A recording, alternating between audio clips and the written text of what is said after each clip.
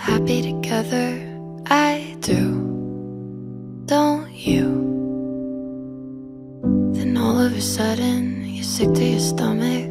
Is that still true? You said forever in the end, I fought it. Please be honest, are we better for it? Thought you'd hate me, but instead you called and said, I miss you. Caught it. Good to each other, give it to summer. I knew you too.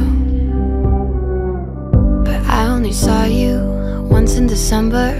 I'm still confused. You said for